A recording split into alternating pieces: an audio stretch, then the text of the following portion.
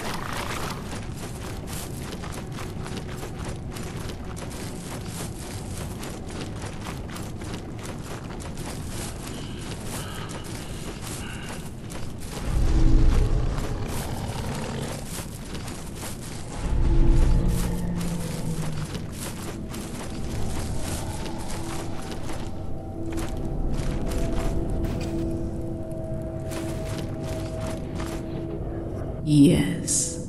slowly now.